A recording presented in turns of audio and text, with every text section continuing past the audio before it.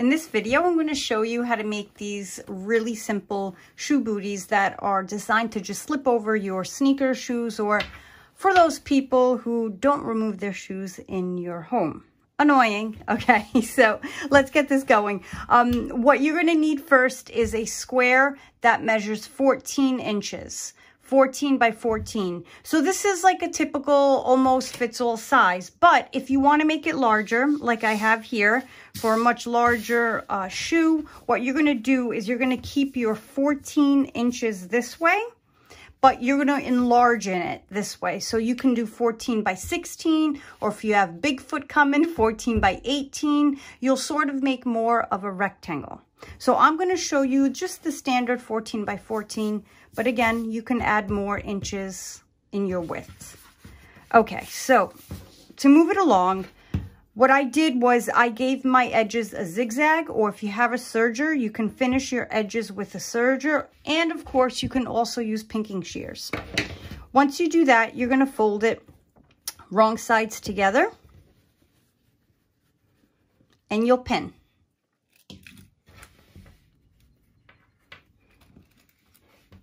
Once you're pinned, what you're going to do is you're going to sew up your edges. Now, I don't like that the shoe booty has pointy edges. So if you just sew here, you can do that and keep it that way. But your booty comes out with a pointed edge, a pointed front and a pointed back. It kind of looks like an elf shoe and I don't like that. So what I'm going to do is just give myself a little tiny curve here.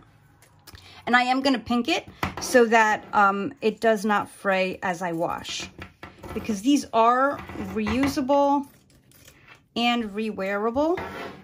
So just a tiny little curve. I don't want to take off too much. And I'm going to pink the edges as well as I struggle here. I'm going to sew with a quarter inch seam allowance from the top here all the way down the curve to the end. And I'm going to back stitch on the ends. I'm going to give myself a quarter inch seam allowance.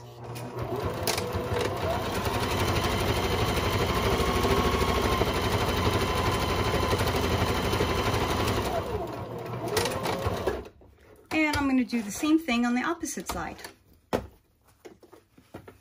I'll start from the curve this time.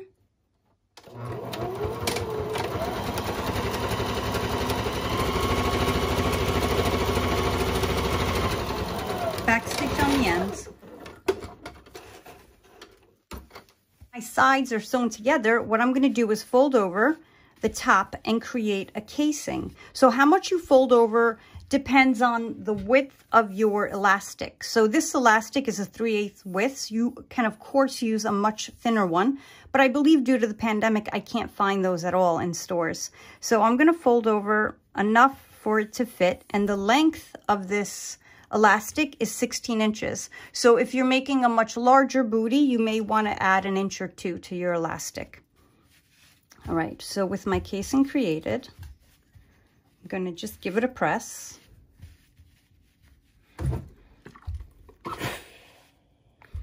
To hold it down.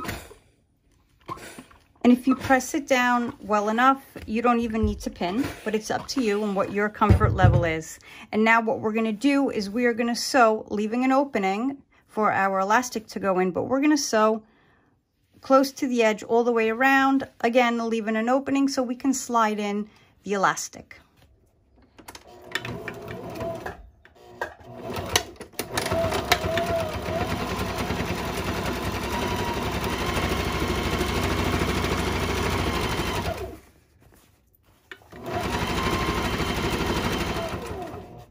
Now that I'm approaching the opening, I'm gonna get close to it and do a back stitch.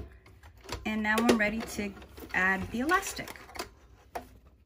I'm gonna add a safety pin to the end of my elastic and I'm gonna feed it through the casing, making sure that this end doesn't go in as well.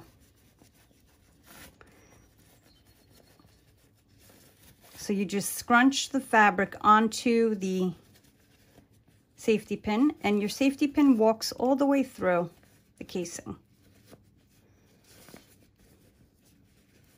Now that it's all fed through, I remove the safety pin and then I just sew these together. You can overlap them just a bit. And what I do is I sew and backstitch a few times overlapping over it, and then it feeds right into the casing. And it doesn't matter that my thread doesn't match in color on my elastic because it hides in there. And now that that's in, I'm just going to close up this open space. Just continue my stitch right there. Making sure you do not sew over your elastic.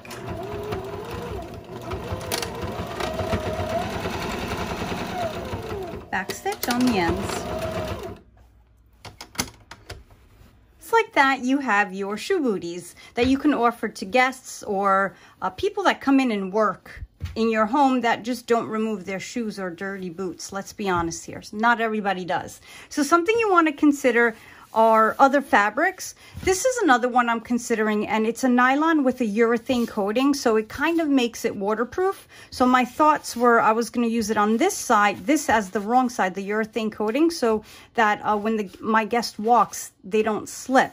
I also have another type of fabric that I'm considering but I might not work with because this is a nylon but it's quite slippery. It feels great. It's like if you really want to think of what type of fabric this is if you don't recognize it. It's like what umbrellas are made out of.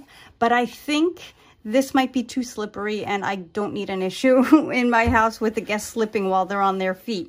But just other things to think of. Maybe even a canvas is good as well. So thank you for watching and I really hope you enjoy making your own shoe booties.